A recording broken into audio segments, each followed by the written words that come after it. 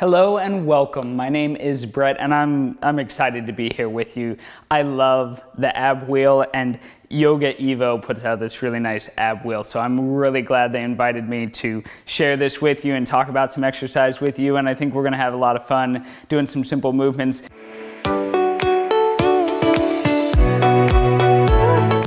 This piece of equipment is what really started me off with all of my activity when I was younger. I loved this piece and this is a really particularly nice ab wheel. So it's gonna be fun to play with it and really go over some core movements and some upper body movements and even some leg movements that are fun to do with this piece of equipment. It's really pretty diverse, so I'm gonna enjoy this. The biggest things that I wanna go over first are just basic posture with the ab wheel. It's really important, just like any other type of exercise, to have really good posture when you're doing an ab wheel movement. So you wanna keep the core really tight. This is largely about your abdominal strength, your core strength, so you wanna keep your back really straight and your core really tight.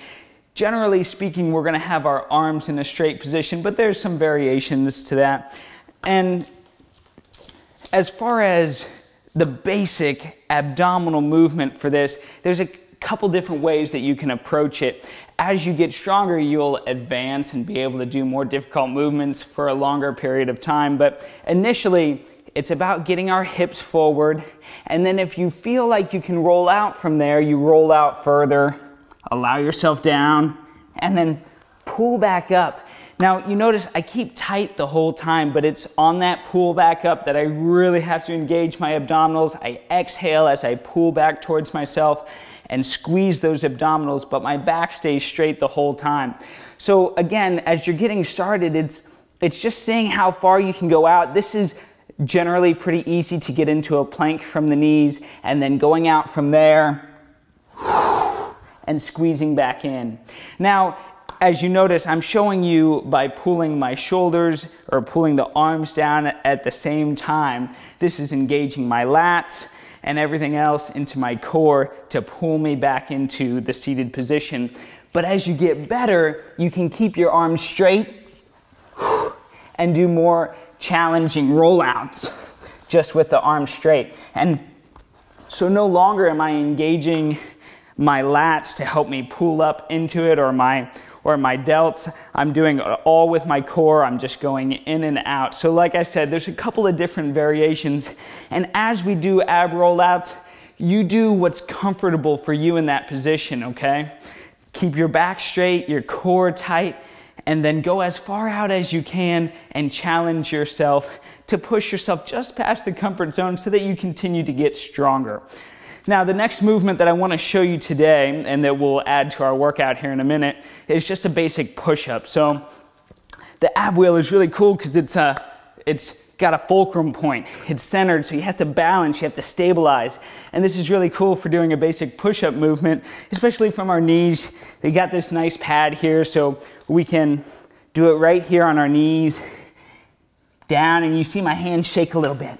They're stabilizing. I'm keeping my upper body in a straight line. I go down, touch the chest, and push back up. Keep those elbows in tight. Go down, touch the chest. Exhale and push back up.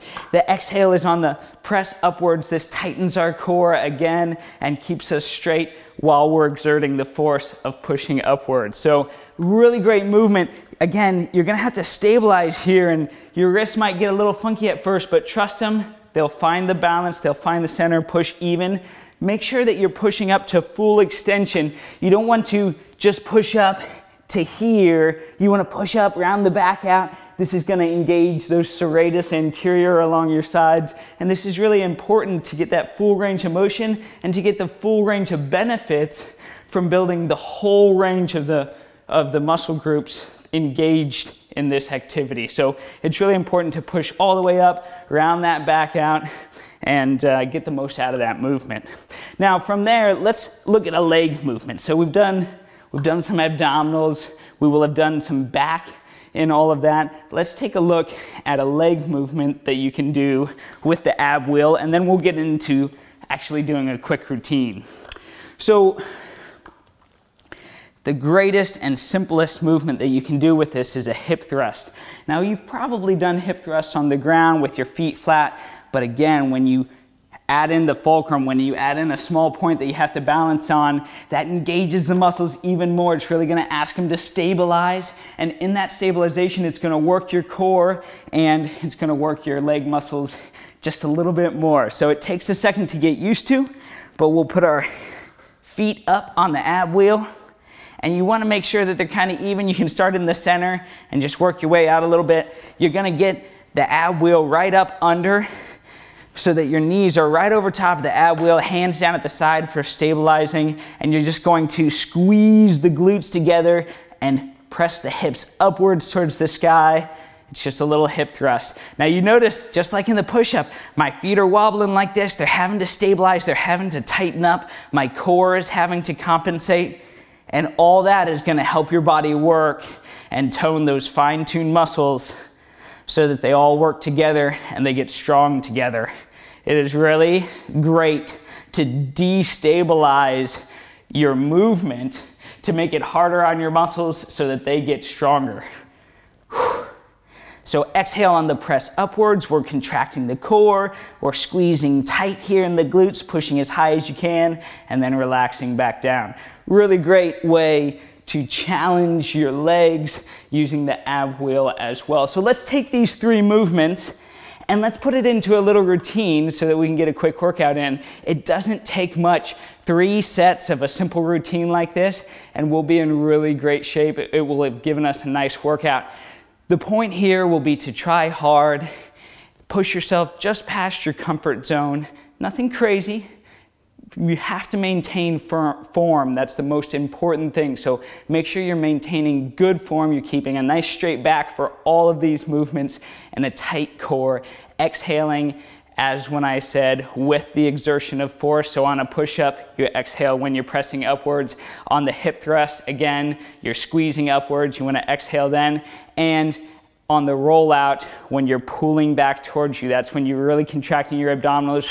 You exhale, accentuate that crunch back in towards yourself. Now, let's start off with just 20 repetitions of rolling out. Again, this is about your level of fitness. So if you feel like you can go a little bit further, go a little bit further. But if you feel just comfortable right here, that's totally fine. Keep the back straight, pull it back in, keep the core tight, and we'll be in great shape. So let's start with 20 of these. Rolling straight out. Exhale and pull it in. Roll out as far as you feel comfortable. Exhale and pull it in roll. That's three. Nice, slow, consistent pace here. Nothing fast, nothing jolty. This is about smooth movement. Keep everything tight. Roll out to where you feel comfortable. Pull it back in. Squeeze those abdominals. Focus on it.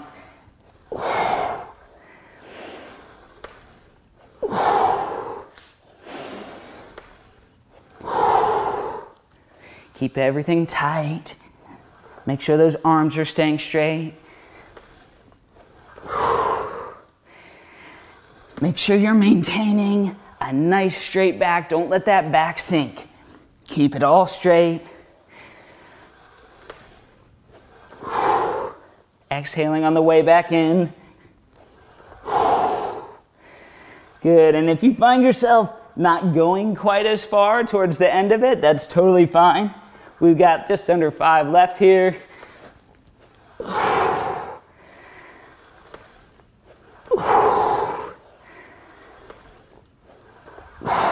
Keep pulling with your core, with your abdominals. Perfect. Now, let's go ahead and mix in the legs here. So let's flip over on our backsides, put our feet up, get them right there in the arch of your feet hands down at your sides, palms flat on the floor, and lift your hips off the ground with an exhale and back down. We're gonna do 10 of these. One, two,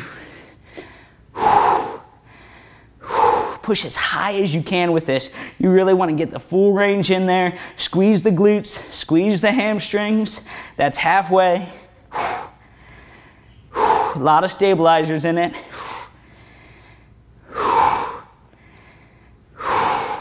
Let's do one more for good measure. Perfect. Now we'll flip back over and we'll get our push-ups in. So, from our knees, you're on the pad, you're gonna lower yourself straight down, touch your chest if you can, and push all the way back out, round the back out at the top. Make sure we're getting our full range of motion in there. Down, touch, and push up with an exhale. Keep the elbows in as much as possible.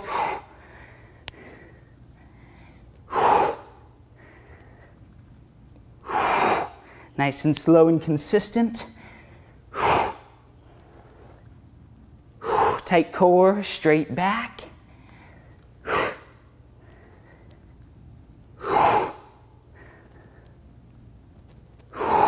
Good movements there.